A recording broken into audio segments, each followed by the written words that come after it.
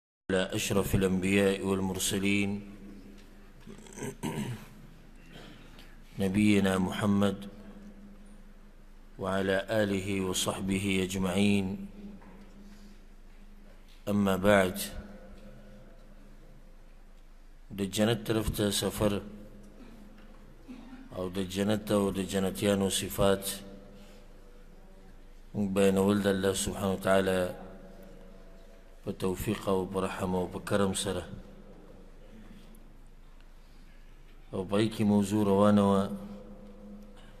د هغه حورو او د هغه زنانو چې الله سبحانه وتعالی به یې په نعمت کې ورکوي جنتیانو ته نو د هغوی تفصیلي صفات هغه امام ابن القیم رحم الله بیان کړی وو او بیا وضاحت شوی و د هغې نن به انشاءالله یو څو اشعار به دغه موضوع کې پاتې دي خصوصا دا مسله چې جنت کې چې کومې زنانه دي د دوی بچي به پیدا کیږي او که نه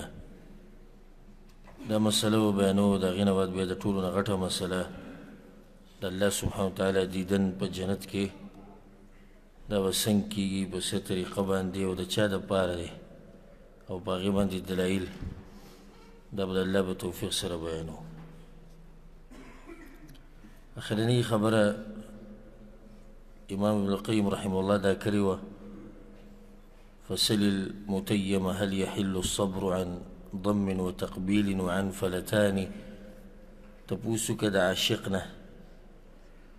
چې کله هغه ته خپله معشوقه میلو شي او محبوبه نو بیا د هغې د ښکلولو نه یا هغې سره د میلاوېدو نه سړی صبر کولی شي او که نه وسل المتیم اين خلف صبره في اي واد ام باي مكان او د عاشق نه ته پوسو کې چې صبر کمزې کې پرې خو په کم میدان کې پرې خو لکه چې صبر خو به داسې وخت کې نه کیږي وسل المتيم كيف حالته وقد ملئت له الاذنان والعينان او ته پوسو که د عاشق نه چې د به څه حالي کله چې ډک شي د ده غوږونه د هغه ښایستو خبرو نه چې هورې به یې کوي او سترګې ډکې شي د هغه حسن نه کوم چې به الله حورو له ورکړی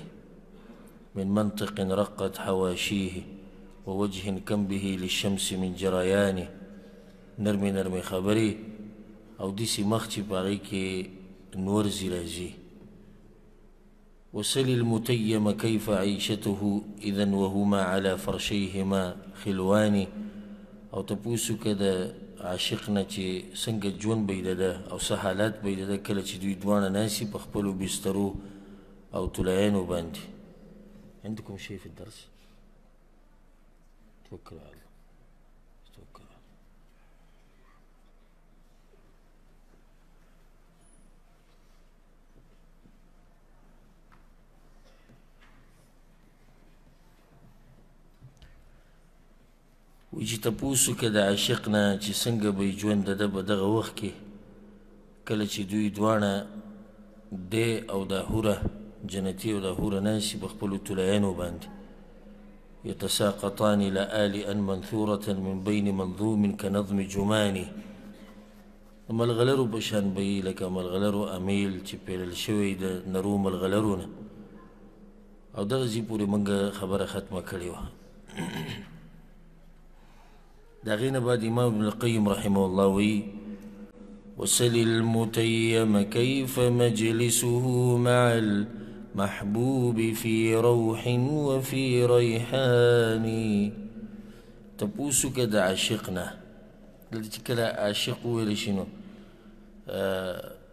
یعنی د جنت کې چې کوم انسان د دې نعمتونو نه مزه اخلي نو اشاره ده ته دی عاشق دی او محبت کوي د حورو سره کومې چې الله ورکړي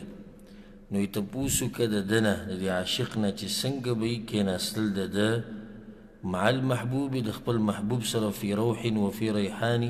په راحت او په خوشحالو او په خوشبو کې څومره خوند به کوي هغه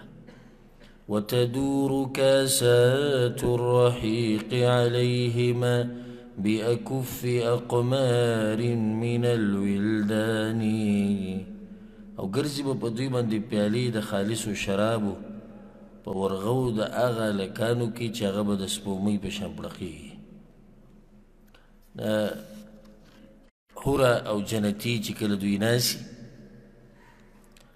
نو خادمان به ګرځي را ګرځي خادمان هغه هلکان چې الله د جنتیانو په خدمت کې لګولي نو هغوی به دوی له شراب وړي راوړي او هغه نعمتونه د څښاک چې هغه الله جنتیانو له ورکړي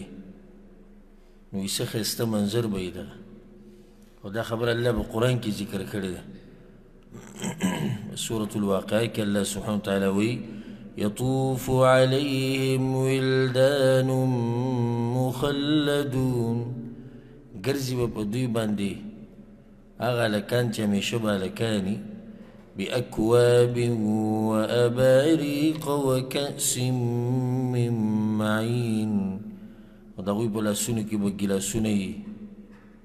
جګونه به وي پیالې به او ټول هر وخت او ټوله زمانه به دوی د جنتیانو په خدمت کې يتنازعان الكأس هذا مرة والخود أخرى ثم يتكئان چې کله دا پیالې د خالصو شرابو دوی له ورکړی شي نو یتنازعان الکأس د یو بل نه براخلی دغه ډکی پیالې هذا مره کله جنتی والخود اخرى او کله دا هره به تراخلی ثم یتکئان او دونه وډړي لګولي کله چې خزه خاون د یو بل سره مینه محبت کوي نو یو وبس کی یا سشیس کی هغه مال راکوي مال راکوي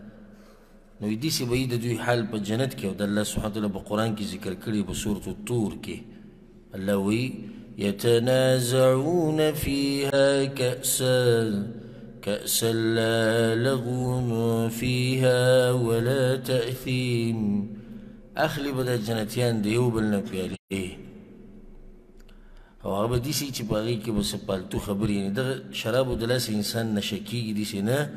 چې پالتو خبرې او ګډې وډې شروع کړي او نه په هغې کې څه ګناه شته بلکې هغه مخکې موږ سره مسله تېره شوې ده چې صرف نوم دغه دی شراب د دنیا او شراب د آخرت نور صفات خوند رنګ هر څه د هغې څه دي هغه جدا دي الله دې موږ ټولو ته نصیب کړي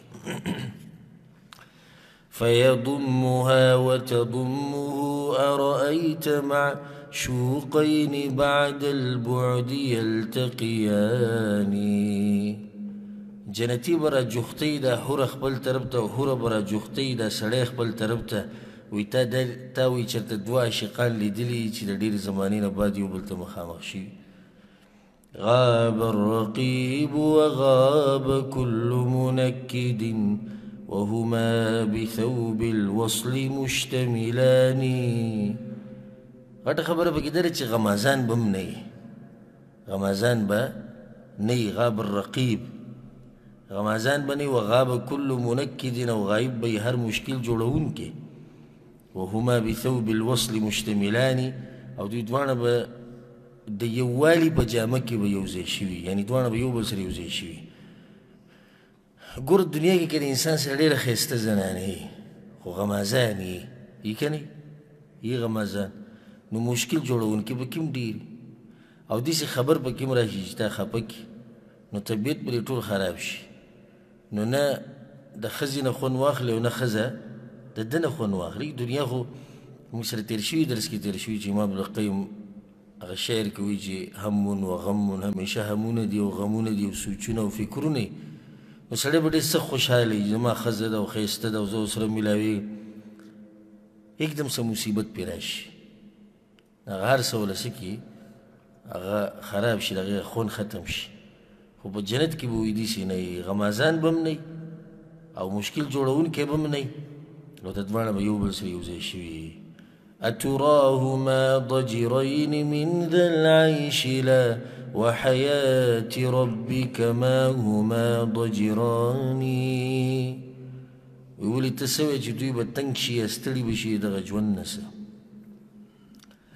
دنیا کې د طریقه دا چې کله خزه خاون د یو بل سره مینه محبتو کې ډیر د یو بل سره ناسي غب شپ لګي خو به ستړي شي همیشه خو هغه شان طریقه نه کنه یو نو استاد سم مطلب دی چې دوی به ستړي کیږي نو تاسو ویلا هیڅ چرته نه و حیات ربک استاد رب په ژوند مې د قسم ما هما ضجرانی دوی به نه تنګیږي دیز کې یو مسله د الله په جونې قسم وخوړو نو دا جایز دی او کنه دا مسله هم بابا باندې کړی ده چې د غیر الله په نوم باندې قسم خوړل دا شرک دی یا کفر دی خو دې ځکه د الله په جون قسم وخورو دا جون خو د الله صفت دی نو دام قسم شو په الله باندې لکه یو سړی قسم خوري په قرآن باندې نو مطلب د هغه دا نه چې زه د قرآن په دې ګته او په دې پاڼو قسم خورم ځکه چې ګته او پاڼې خو مخلوق دی نو دا خو بیا تا په مخلوق باندې قسم وخوړ مطلب دا دی چې په دې ګته او د پاڼو په دې منځ کې چې کومې خبرې د الله دي زه په دې باندې قسم خورم او خبرې د الله د الله صفت دی نو چې د الله صفت شو د به مخلوق نشو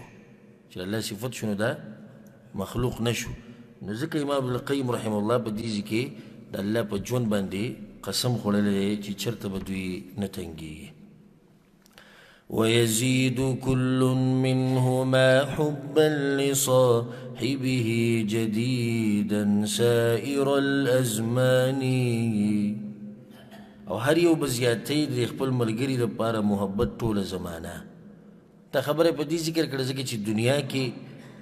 د مینه محبت چې دی نه چې په یو ځای باندې برقرار نه وي ځوانۍ کې چې کوم محبت یې د هلک او د جنۍ د ښځې او خاوند یو بل سره هغه بل شی نه بیا چې لږ عمر زیات شي بیا بل شی نه بیا چې زیات شي بل شی نه بیا چې بوډاګان شي بیا بل شی نه هغه په یو ځای باندې نه وي خو د جنت جنتي او د هورې په منځ کې چې کوم محبت دی دا به هر وخت زیاتیږي کمیږي به نه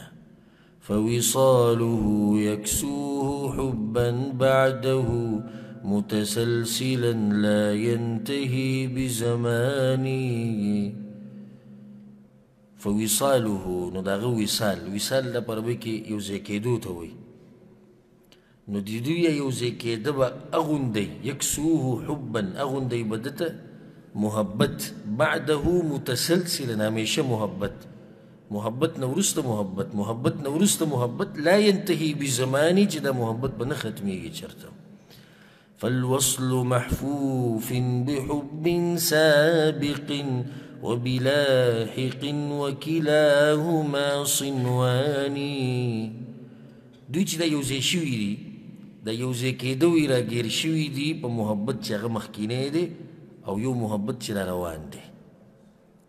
امام ابن القیم رحمه الله دا خبرې لږې جورې دي او زه کوشش کوم چې هره خبره تاسو ته واضح کم که بیا پم تاسو پوه نه شئ نو تپوس کولی شئ هر ملګري ته د تپوس اجازت دی نو جنتي او حوره میلاو شو دا محبت دی د دوی اوس دا وصال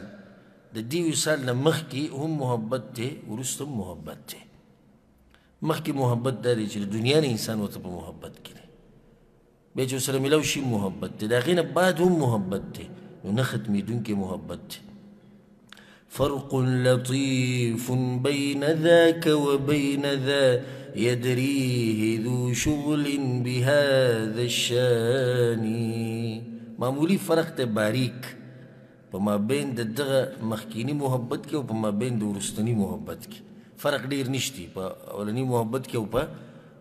وروستني کې خو څومره فرق دی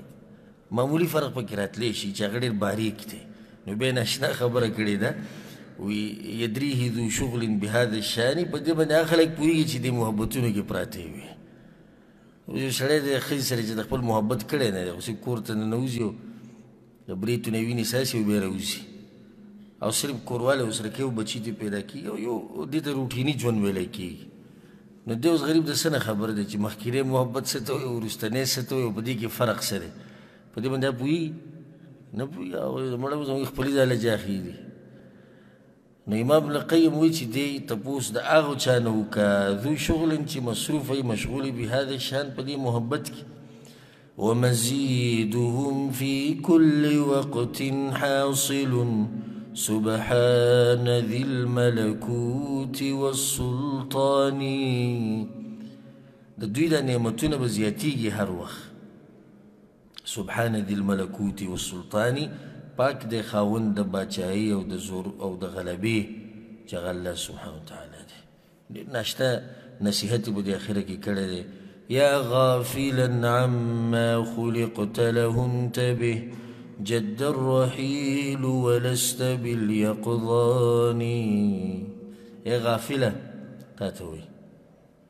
اے غافله د هغه څه نه چې الله ورله پیدا کړی وي بیدار شه سفر ګوره تېز شوی دی او ته اوږده پاتې شوی یا غافلا عما خلقت له ای انسانه ته غافل د هغه عبادت نه چې الله د هغې لپاره پیدا کړی انتبه بیدار شوی جد الرحیل ولست بالیقظان سفر تېز شوی دی مزل خلکو ډېر زیات وهلی دی او ته لا د اوسه پورې اوږده پروت یخ شوی نه یې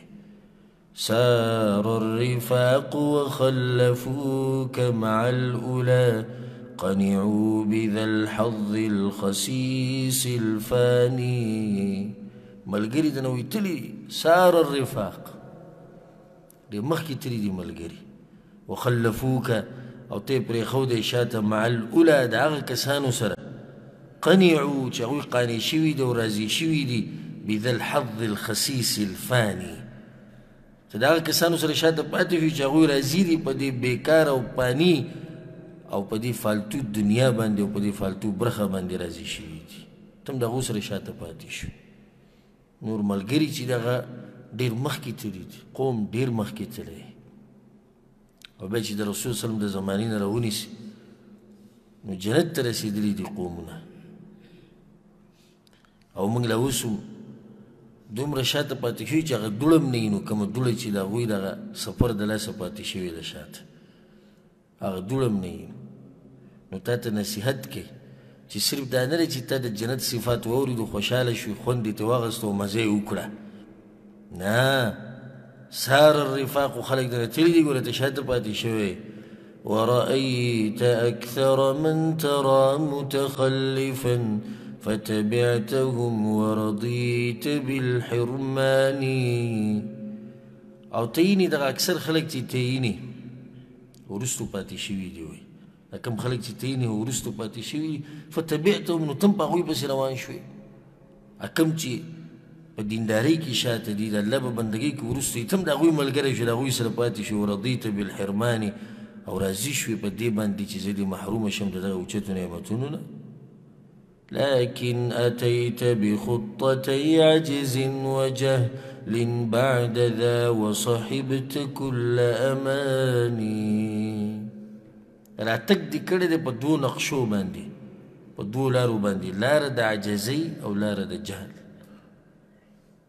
یو خو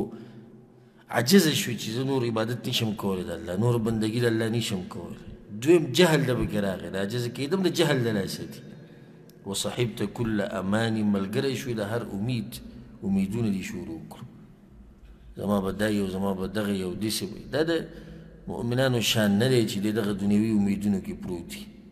بلکې تا ته وي ملګری شه د هغه قوم چې هغه ډېر مخکې تللی دی او دا قوم پرېږده کوم چې شاته پاتې شوي دي او راضي شوي دي په دې دنیا باندې بذا الحظ الخسیس الفاني دا دنیا پرس په خلکو باندې اثر کوي ګوري کله چې ستا خوا او شا کې مالدار خلک ته ویني د ده سره ګاډی ګران دی د ده سره کور چې دی غټ دی د ده سره پلانی شی ډېر دی پلانی شی د دوی سره چې ډېر کینې پاسې دا په انسان باندې اثر کوي نو بیا به ستا هم دغه سوچ دا فکر چې زه به څنګه دا پیسې ډېروم زه به څنګه دا کورونه ډېروم زه به څنګه ښځې ډېروم زه به څنګه چې دی نو ګاډي ډېروم او هغه قوم به درنه مخکې لاړ شي کوم چې نه دي راځي په دې دنیا باندې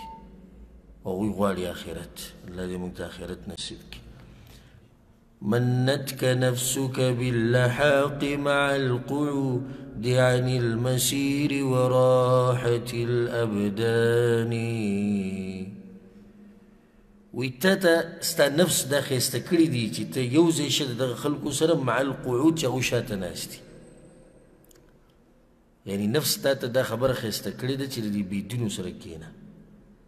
او د دوی سره پاتې شه عن المسیر د مزل نه ته پاتې کړې و راحت الابدان او په دې لالچ کې واچول چې بدن له خپل راحت ورکه دا بدن هم وي پتا باندې حق ته ډیرو ته د حق په دې ذکر یاد شي په کوم ذکر تر یاد شي په دې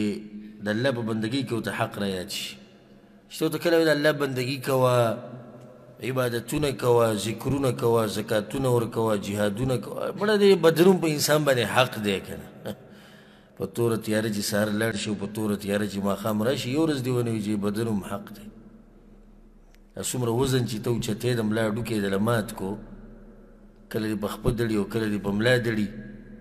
او ځوان ځواني دی پکې خاورې کړې یو ورځ خو دی ونه وی چې بدن په موږ باندې لږ حق دی لږ ګزاره په کار ده خو چې کله د دین خبره راشي بیا دوی د بدن هم حق دی وي د ښځې هم حق دی د بچو هم حق دی وي موږ منکر نه یو د دې نه او د بدن هم حق شته د بچو هم شته د ښځو هم شته خو د دې بدن په تا باندې دا حق هم دی چې دا بدن د اور د جهنم نه بچ کړي دا حق یې نه دی سي دا کمزوری بدن چې ته بوزې په خپله جهنم ته دا ته زیاتی نه کوې د خپل بدن سره نو دا هم په تا باندې د بدن حق دی که دا عبادت چې ته کوې دا خو ته د بدن سره ښه کوې د الله دا بندګي چې ته کې دا خو ته د خپل بدن سره ښه کې ظلم ورسره نه کې دا خو ته ښه کې ځکه چې دا کمزوری بدن چې په ده کې طاقت نشتی دا چې دی دی په اور کې صبر وکړي هغه ته بچ کو د الله د توفیق نه بعد د جهنم نه ولسوف تعلم حين ينكشف الغطا ماذا اضعت وكنت ذا امكاني او زرد چې پوه به شي خو چې کله پرده نه لري شوی ته به پوه شي خو چې کله دنه پرده لري شي پرده د انسان هله لري کېږي چې کله انسان مړ شي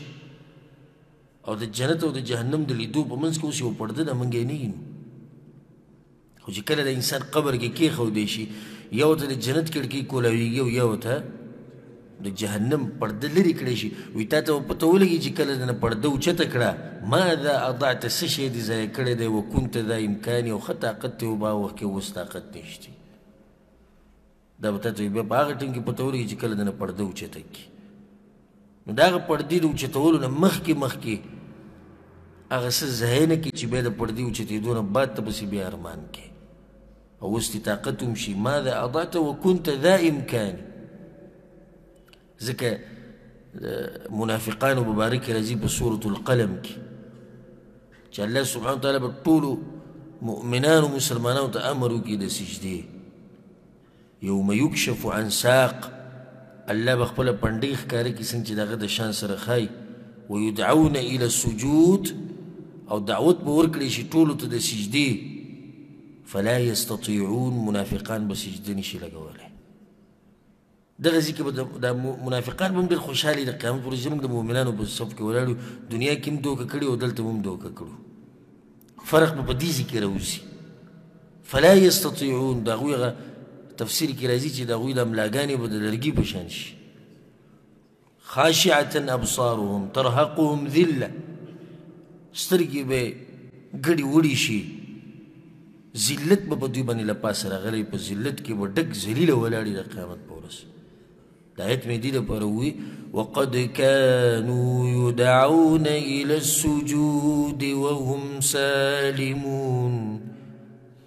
الله وی دوی ته دعوت ورکړی شوی و د منځونو او د سجدو او په هغه وخت کې دوی ښه روغرمټ وو نو اوس موږ سره طاقت هم شته او وخت هم شته او هېڅ پته نه لګي چې دا وخت کله ختمېږي او چې بیا جهنمیان په جهنم کې اواز کوي چې الله موږ راوباسه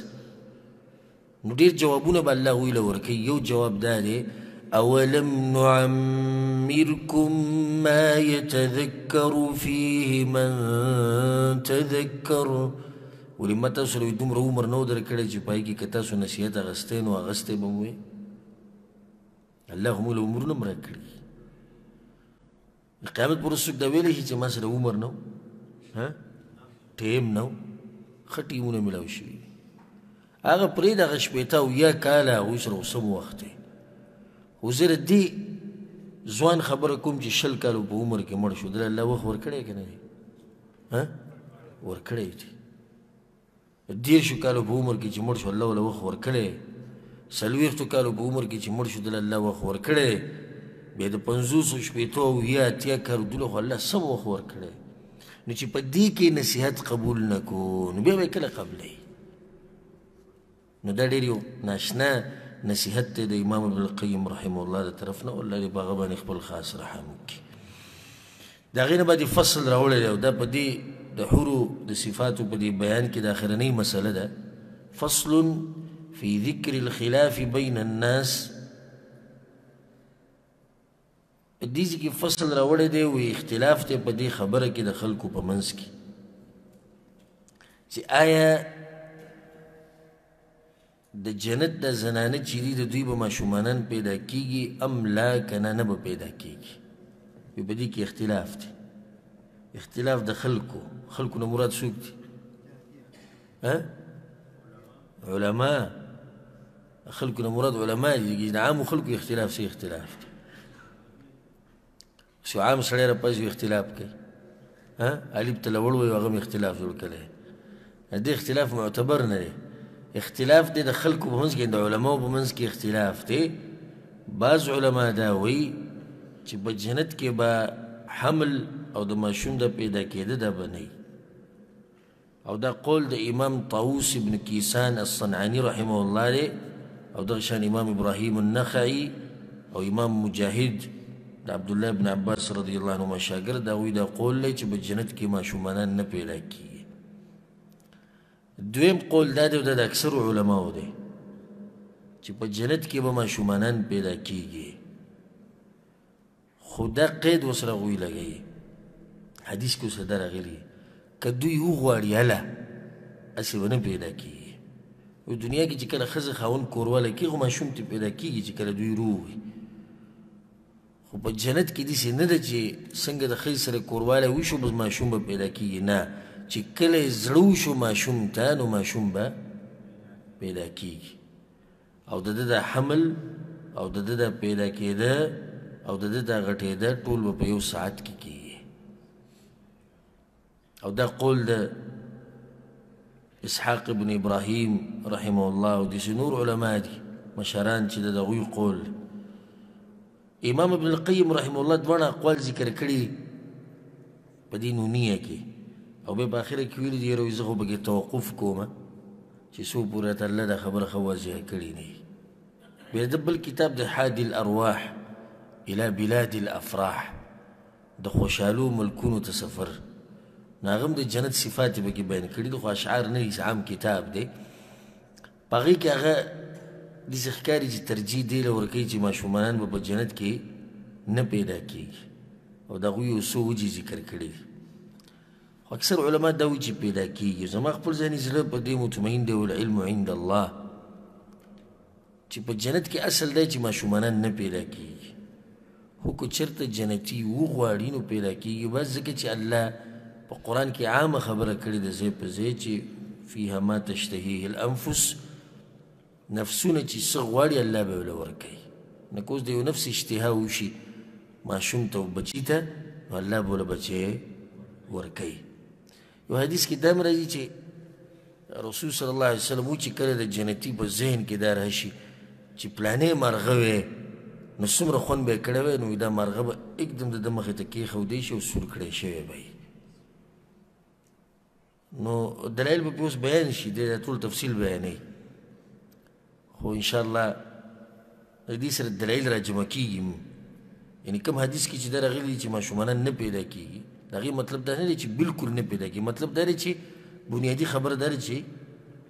نه پیدا کیږي کوم کې چې راغلی چې پیدا کیږي نو په هغې کې به سره دا قید لګي او په هغه حدیث کې راغلی چې کله د جنتي زړه وغواړي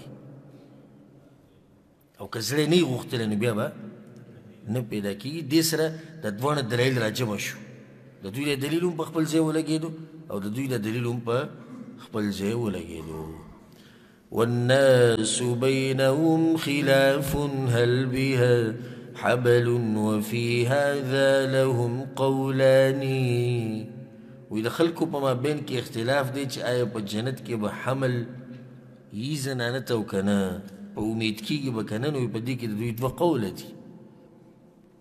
خلکو نه مراد څوک دی علما دي داسې نه چې د عوام هم خوشحاله خوشحاله وي زموږ د اختلاف ذکر که څه کېږي اختلاف دلته د علماو دی ځکه چې علماو ته دلایل معلوم دي اختلاف خلک د دلایلو په بنیاد باندې کوي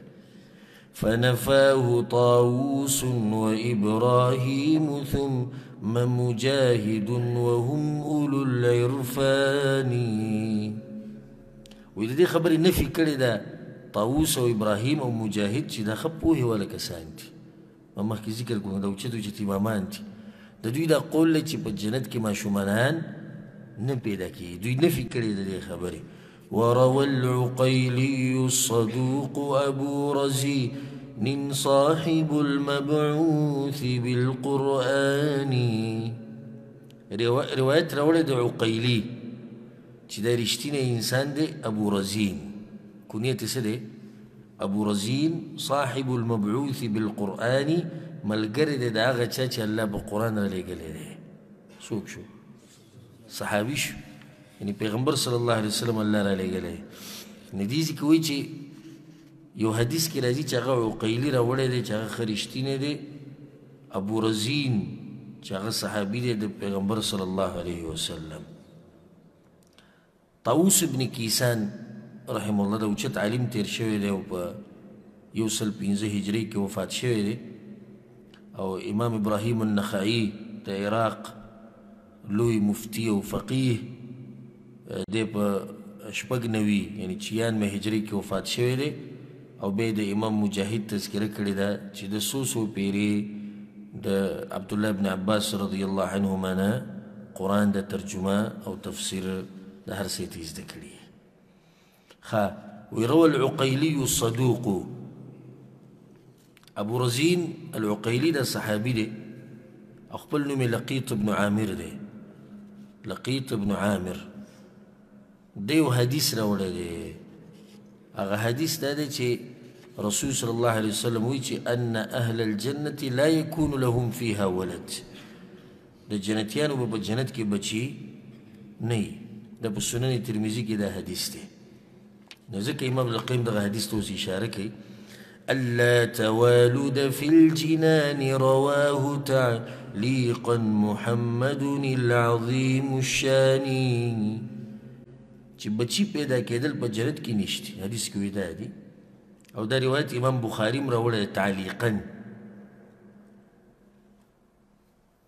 محمد العظیم الشانی هغه محمد چې د هغه ډېر لوی شان دی دا محمد څوک دی محمد ابن اسماعیل البخاری د امام بخاری خپل نوم محمد دی د پلار نوم اسماعیل دی او کنیت یې ابو عبدالله دی نو دا یادوي د خپلو مشرانو د نومونه لکه څنګه چې د بیدونو ته یاد دي نومونه د ډمانو او نومونه د کلاړیانو او نمونه پالتو نمونه د مشرانو د هغې نه چې هغوی دومره یادولی شي نو موږ له پکاره چې د خپلو مشرانو نمونه او د هغوی څه نه څه سیرت زموږ ذهن کې ومي امام بخاري دا راوړی دی تعلیقا تعلیقا مطلب دا دی چې امام بخاري ذکر کړی دی دا حدیث او په منځ کې ترې یو څو کسان لرې کړي دي سند کې یو څو کسان نشته یا یو کس نشته نو به سړی چې امام بخاري دې حدیث څنګه وروړي حالانکه موږ خو چې امام بخاري چې څومره حدیثونه وروړي ټول صحیح دي امام بخاري چې څومره حدیث راوړي دی هغه تعلیقا راوړي په سند کې کس نه نغه امام ابن حجر رحم الله دغه شرح کړی دا هغه کس ذکر کړی دی دلته دا دا کس دی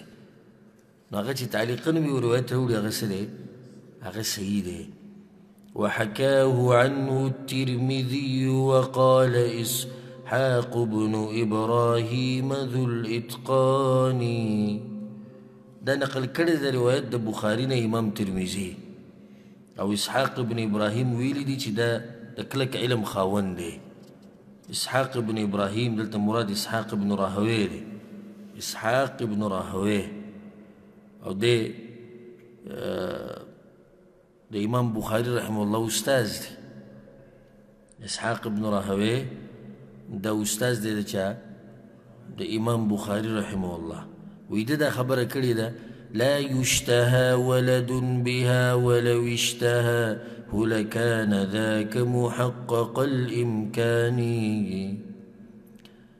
د اسحاق بن راهوی رحم الله وی چی بچی ته په جنت کې د چا زړه نه کیږي خو کچر ته وغواړي نو دا خبره خه ثابت ده او امکان والا ده د الله د طاقت نه دا خبره سه الله طاقت په مخ کې سلري نه لري چې الله جنتیانو له بچي ورکی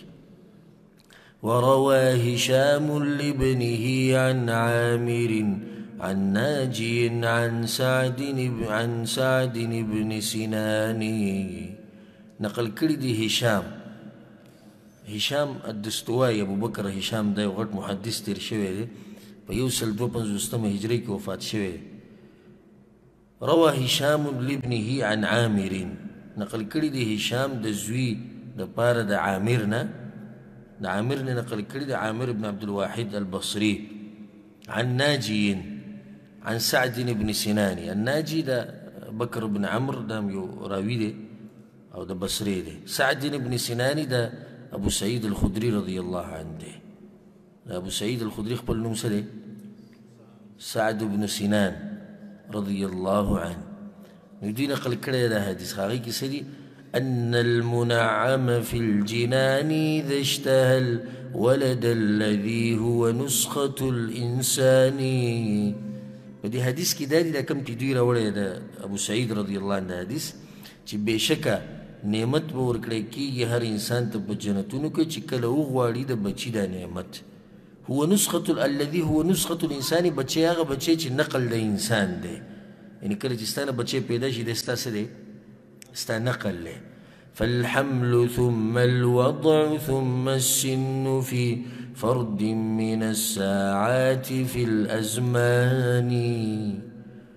نو بس حمل به موجود شي بیا د هغې پیدا کېدل بیا د ده ځواني دا ټول به په یو ساعت د زمانه کې کېږي دا وی په دغه حدیث کې دي سند مبارک کی خبره کی اسناده عندي صحيح قد رواه الترمذي واحمد الشيباني د دې حدیث سند وي زما په نس صحیح دی او دا روایت کړی دی امام ترمذی او امام احمد ابن حنبل الشیبانی رحمه الله کوم حدیث صحیح دی وی او دې کوي خي ها چې ماشوم به پیدا کیږي او حدیث دې سي دی سند ذکر کو کنه چې هغه کې دي چې معاذ ابن هشام وی حدثنا ابي زما پلار ویلي دي عن عامر الاحول هغه د عامر نه عامر د ناجینه ناجی د ابو سعید الخدری نه هغه وی چې قال النبي صلى الله عليه وسلم پیغمبر صلی الله علیه وسلم دا خبره کړې ده المؤمن اذا اشتهى الولد د جنتی چې کله د اذا ټکیات ساتي خاطی برګه خبره کوي المؤمن اذا کله چې د مؤمن زروش اشتهى الولد في الجنة وجنتك كان حمله ووضعه وسنه في ساعة كما يشتهى يا كما يشتهي ندب إلى كداد حمل لو لويدادة طلبة فيسعدك نو سند یې صحیح دی ورجال ذا الاسناد محتج بهم في مسلم وهم اولو اتقاني د دې حدیث سند چې کوم دی دا مغ سړي دي چې په صحیح مسلم کې امام مسلم رحم الله ذکر کړی او امام مسلم په دې کسانو باندې په خپل صحیح کې احتجاج کړی دی نو دا حدیث خو سند په اعتبار سره څه دی صحیح دی ځکه چې امام مسلم کتاب صحیح مسلم هم صحیح دی د خې دا خبرې خبرې کې دي چې په بعضو ملګرو باندې نه وي خو ګزاره کوي ځکه چې علم هم خلک دقه شان زده کوي نوي خبره اوري هغه نوي به څه شي زړه شي د هغه نوي سره بیا عادت شي حالانکه دا زه دومره تفصیلا هم نه بیانوم چې څوک پې نه پوهېږي زه خو ان شاء الله زما په دې خبرو باندې ماشومانان هم پوه شي موږ یې ښه وضاحت سره وایو او چې د خپل دین باندې ښه پوه شو لكن غريب ما له من شاهد فرد بذا الاسناد ليس بثاني مشکل شتي بیا په دې کې یو لكن غريب دا غريب دی غريب دا مطلب غريب نه کوم چې موږ غريب موږ غريب سي غريب چاته وایي چې پیسې وسره نه دلته مطلب چې غريب دی یعنی دی ناشنا دی چې کله حدیث غریب ویل شي د حدیث ناشنا دی بل گواهی نشتی د دې حدیث بل ګواه نشته یعنی بل داسې حدیث نشته چې پای کې دا مسله یي لولا حديث أبي رزين كان ذا كالنص يقرب منه في التبيان كتشرت نوع حديث ده أبو رزين أبو رزين كم حديث ده ها چې پیدا کیږي به ها چې کوم علما د نه کېدو دلیل بیانې د بورزین روایت او به کې دی چې ماشومانان به نه پیدا کیږي په جنت کې نو که چېرته حدیث د بورزین نه وي نو بیا خو دا خبره چې ښه واضحه وه چې جنت کې ماشوم ته کله زړه وشي هغه پیدا کیږي خو مشکل هغه حدیث ته لاسه جوړ شو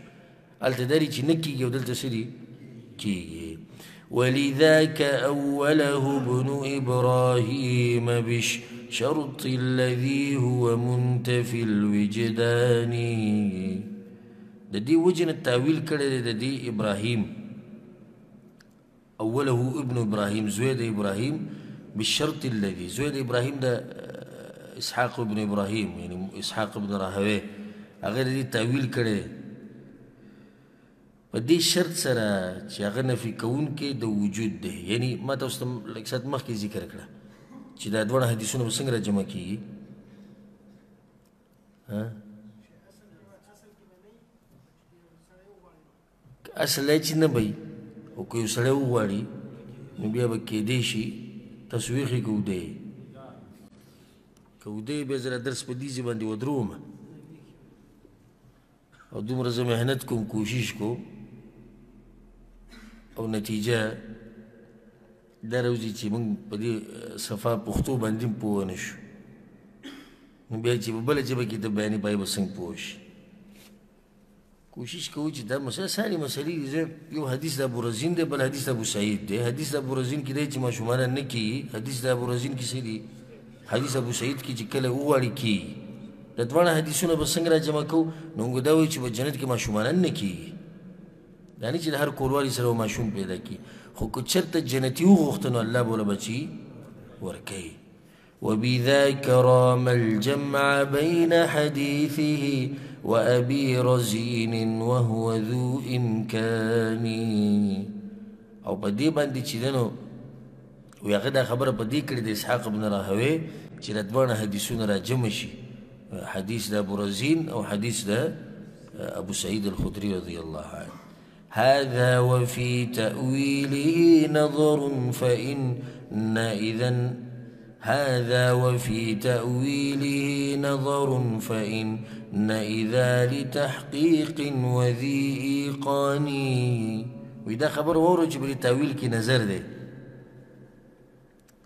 په دې تاویل کې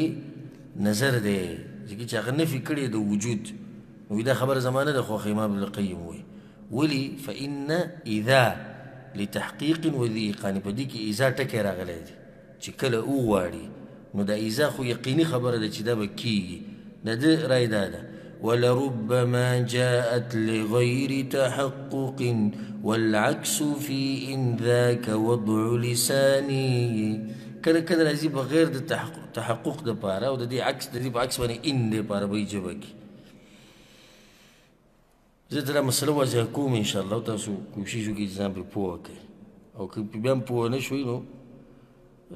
دغه ستاسو بیا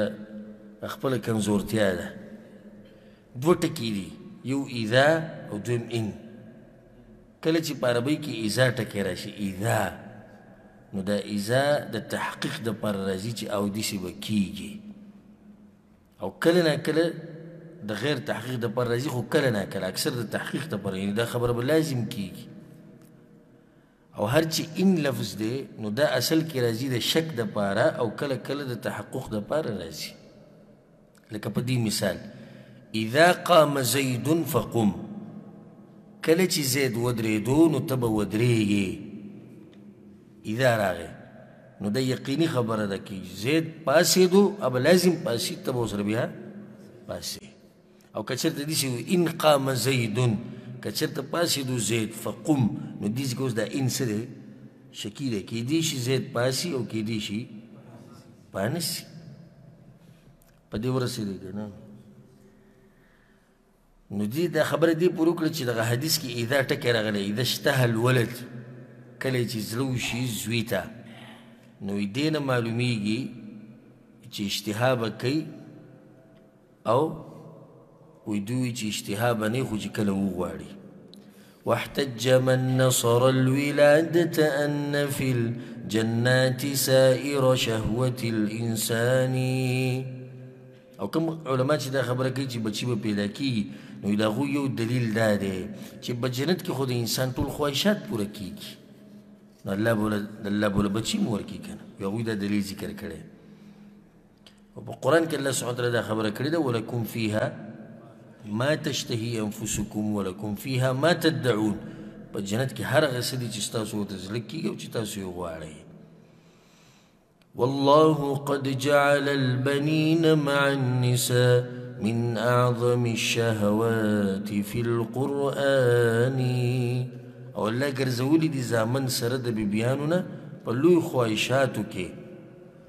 چې د انسان په لوی خواهشاتو کې ښځه ده او د هغه زامن دي وي دا خبره الله په قرآن کې کړې ده په قرآن کې الله په سورت آل عمران کې کړې ده زوی نه لناسي حب الشهوات من النساء والبنين والقناطير المقنطرة من الذهب والفضة إلى آخر الآية خسته کړی شوی دی خلکو ته محبت د شهوت سره هغه شهوات څه دي زوین الناس حب الشهوات من النساء ښځې والبنین او زامن نو ښځې پکې اول ذکر کړي بیا پسې زامن ذکر کړو نو امام ابن القیم وایي وایي هغه علما دا وایي کوم چې بچي به کېږي چې بچي خو د انسانانو خوښ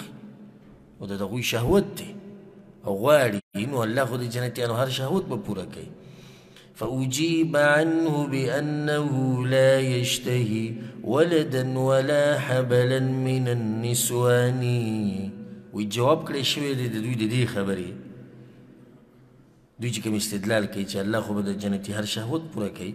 نو دوی جواب کړی دی چې خو سید پوره کوي به خو جنتی به بچی نه غواړي نو بیا ول سی شهوت پوره کوي جنتی به بچی نه غواړي خو له شهوت پوره کوي چې غواړي خو چې نه غواړي نو بیا خو الله به ول نه ورکي ولا حبلا من النسوان او خزب حمل نه خوخي نو چې خزوس حمل نه خوخي نو حمل به څنګه جوړ شي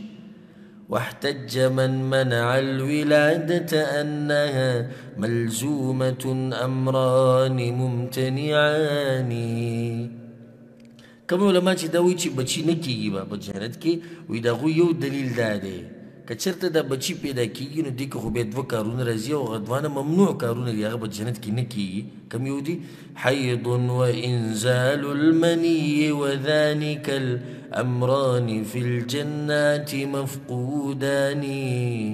چې یو حیز دی او بل انزال د منی ده او د دواړو په جنت کې نشته حیز راځي په جنتیانو زنانو باندې نه راځي منی په جما کې موږ دا خبر مخکې ذکر کړو چې منی به نه راځي حدیث کې راځي لا منیه ولا منیه نه به منی او نه به مرګي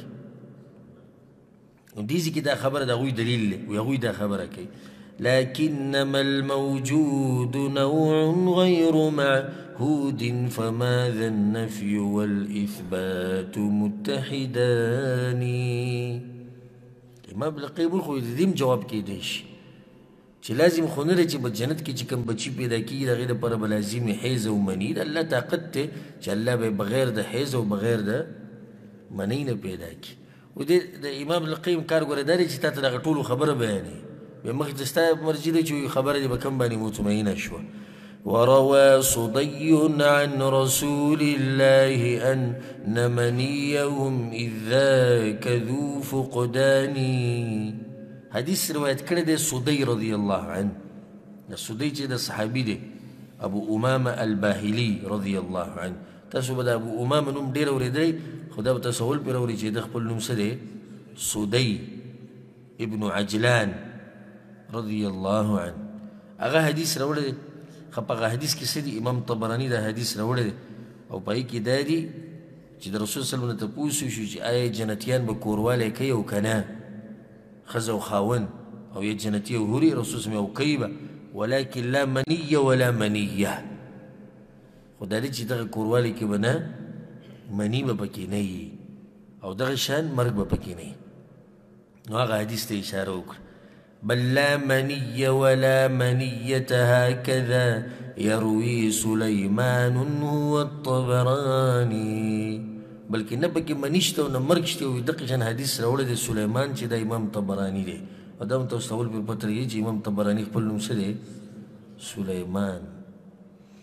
دا د دې علم د مجالسو مثال د باغچو دی په دې کې قسمه قسم میوې ملاویږي او ډېر بدبخت انسان یې چې یو میوهدار باغ ته ورننوځي او ځان له ته هېڅ شی هم رانه وړي ته باغ ته ورننوځې قسمه قسم میوې دي مڼې دي کیلې دي کور دی انګور دی او چې څه پسې ګرځي او تا ته اجازه ته میلاو شي چې څه اخلي واخلي او ته بیا هم د دې باغ نه راوځې خالي لاس نو دا څومره غټ بدبختي شوه نو د امام طبراني خپل نوم سره سليمان خو د دیم جواب شوی دی وأجيب عنه بأنه نوع سوى المعهود في الدنيا من النسوان د دې خو جواب شوی دی چې بېشکه د ماشوم پیدا کېده په جنت کې دا خو داسې نه دي چې څنګه چې په دنیا کې پیدا کېږي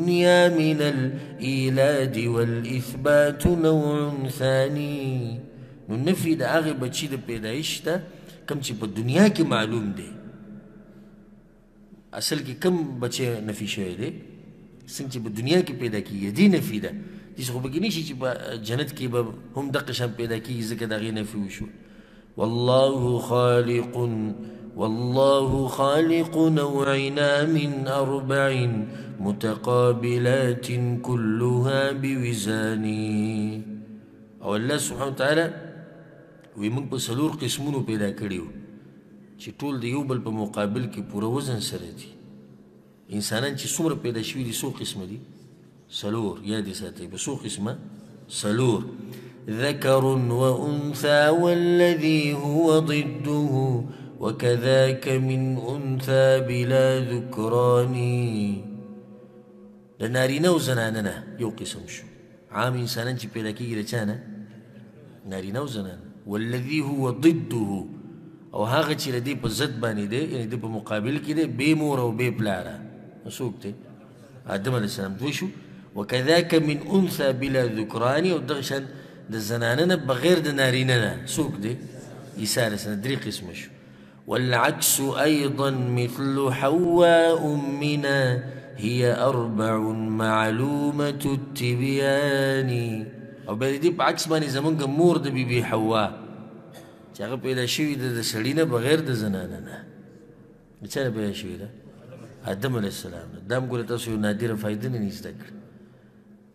انسانان به څو قسمه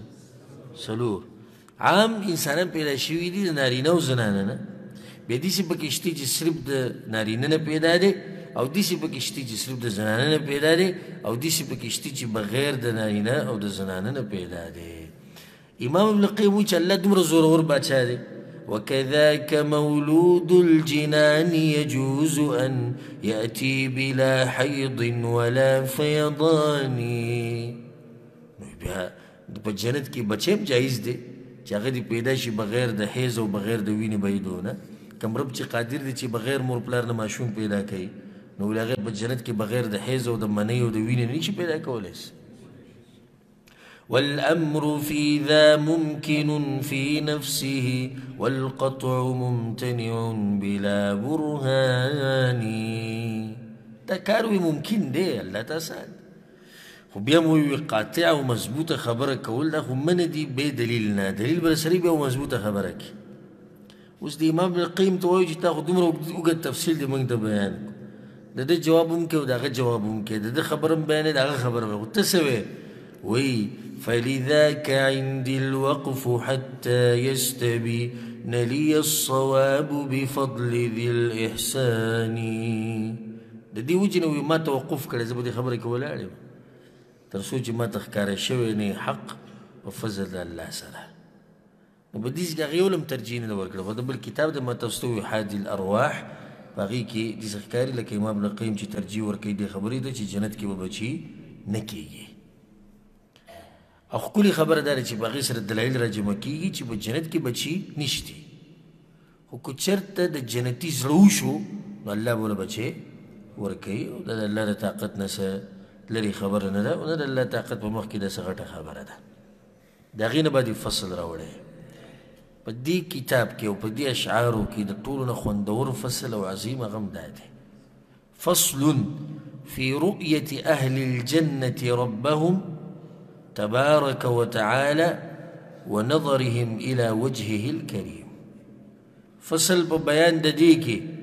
چې جنتیان به ګوري د خپل رب تبارک وتعالى مخته د دې مبارکه اوس تفصیل لوري د جنت نعمتونه بیانې کنه یو لوی نعمت په جنت کې هغه د الله سبحانه تعالی دیدن دی جنتیان به خپل رب ویني په خپل سترګو باندې او په دنیا کې لیدل د الله ناممکن دي او په آخرت کې به یې مؤمنان خو په حقیقي معنو سره به یې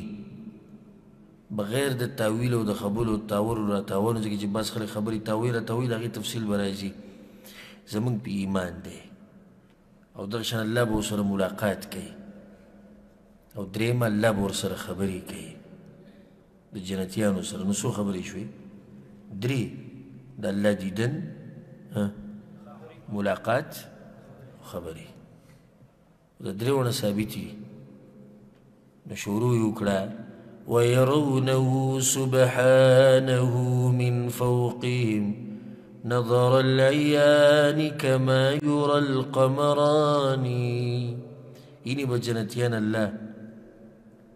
دوی به برینی په ځان باندې نظر العیان په لیدلو ښکاره سره خوازیه به یې کما یور القمران لکه څنګه چې نور او سپوږمۍ لیدې کېږي نور سپوږمۍ بره ده که او بل دا چې لیدې واضح دي لیدې څه دي واضح دي کله چې سړی نور او سپوږمۍ ته ګوري نو په دې کې رش نه جوړېږي په دې کې چاته څه مشکل نه جوړېږي چې ما ته نه ښکاري زه دنګ یم زه چیت یم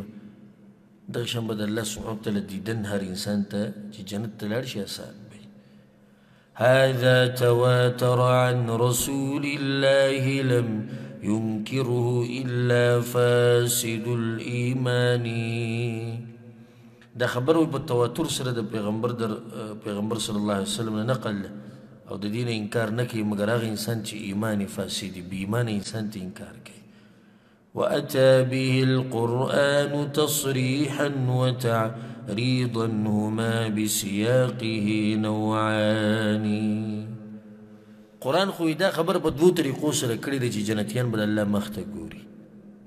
په بعضو ځایونو کې صراحتن کړی ده او بعضو ځایونو کې اشارتن کړی ده نو وی هما بسیاقه نوعان نو دا څو قسمه شو دوه قسمه شو واضحه او څه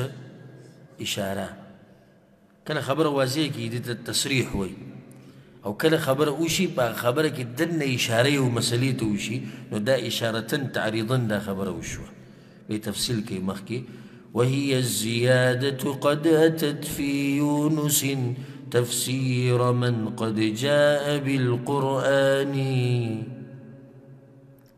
وی هغه زیادت ټکی چې راغلی په سورت یونس کې او دغه تفسیر کړی دی هغه انسان چې په قران سره راغلی دی او څوک دی پیغمبر صلی الله علیه وسلم چې د زیادت نه مراد د الله مخ ته کته دي او حدیث کې دا راځي دغه حدیث کوم دی چې کله پیغمبر صلی الله علیه وسلم دغه آیت وی په سورت یونس کی للذین احسنوا الحسنى وزیاده د جنتیانو د پاره جنت ته او زیاده او زیات پیدا لپاس نو پیغمبر صلی الله علیه وسلم دا غنه صهیب رضی الله عنه روایت کوي چې کله جنتیان جنت ته ننوځي وي الله به ورته وایي چې تریدون شیئا اسیدکم څه شی غواړئ چې زیات ترې درکړم نو دوی به وایي چې یا الله زموږ مخونه تا سپین کړي دي موږ د جنت ته بولي یو د جهنم نه دې بچ کړي موږ نور تا نه څه نه غواړو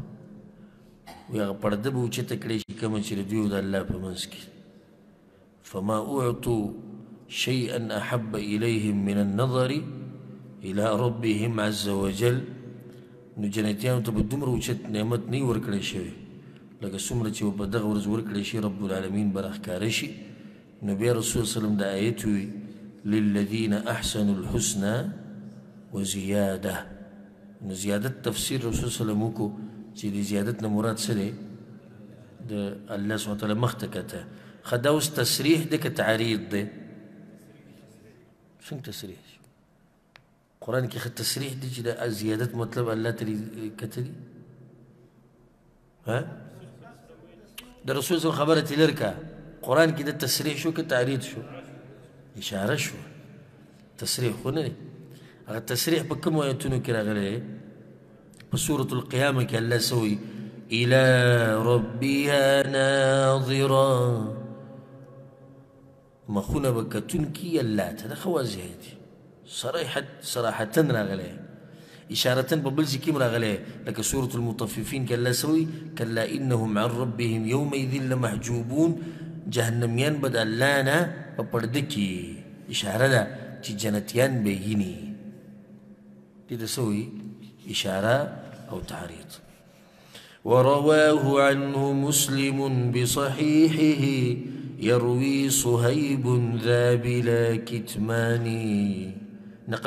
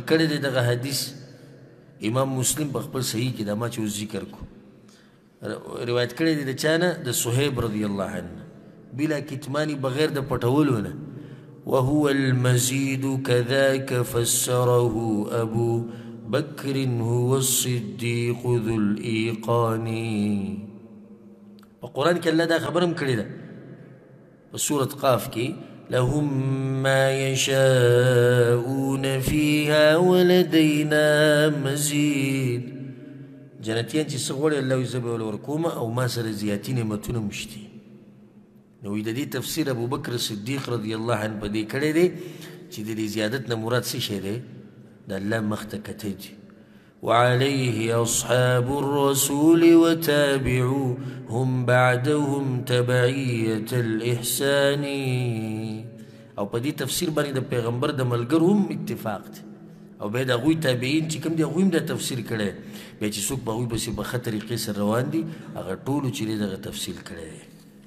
او امام ابن القیم رحم الله په خپل کتاب حادی الارواح کې دغه صحابه کرام نمونه ذکر کړي ابو بکر صدیق ابو هريره ابو سعيد الخدري جرير بن عبد الله البجلي صهيب الرومي عبد الله بن مسعود علي بن ابي طالب أبو موسى الأشعري عدي بن حاتم أنس بن مالك بريدة أبو رزين جابر بن عبد الله أبو أمامة زيد بن ثابت عمار بن ياسر عائشة عبد الله بن عمر عمارة سلمان الفارسي حذيفة بن اليمان عبد الله بن عباس عبد الله بن عمرو رضوان الله عليهم أجمعين أبي بن كعب كعب بن عجرة فضال بن عبيد أو دي شنور وی دې ټولو دا تفسیر کړی دی چې د دې زیادت نه مراد څه شی دی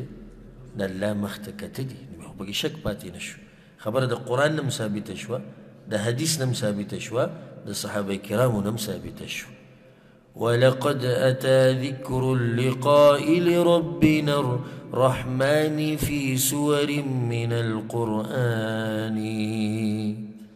او یقینا راغلی دی ذکر د مخامخ کېدو زمونږ د خپل رب سره چې رحمان ذات دی په ډېرو صورتونو د قرآن کې ولقاؤه إذ ذاك رؤيته حكى الإجماع فيه جماعة ببياني نو چې کله دا ثابت شو چې الله سره ملاقات کی خو د ملاقات مطلب سره چې یینی به کنه ملاقات کې لیده یی که نه یی پکې نو وی اهل لغت هم په دې باندې اتفاق دی لغت والا ژبې والا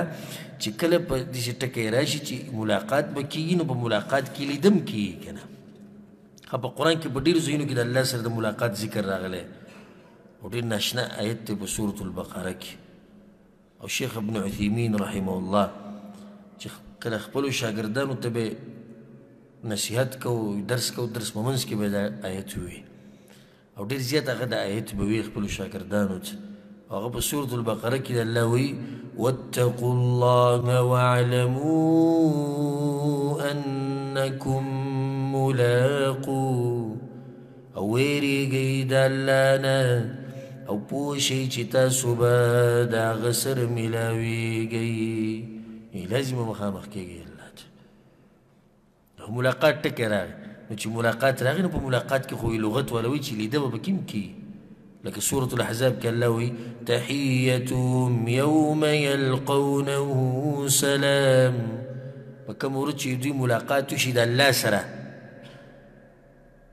نو ملاقات کې خو لیده کي او داسې نور به ډېر ایتونه وي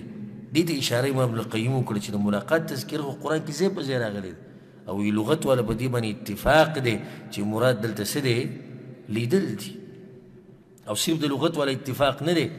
وعليه أصحاب الحديث جميعهم لغة وعرفا ليس يختلفان او په دې عقیده باندې اتفاق د ټولو اهل حدیثو دی په لغت او په عرف کې دا خبره بالکل دغه شان ده لغت هم دا مني چې ملاقات کې لیده کېږي او عرف هم دا وایي چې په ملاقات کې څه کېږي لیده کېږي په دې کې صرف هغه خلکو ته دا خبر را یادوم کوم چې وایي چې د اهل حدیثو سل کاله وشو او سره پیدا شوي دا مخکې نه وو ځکه امام ابن قیم رحم الله وایي په دې باندې د اهل حدیثو اتفاق دی وایي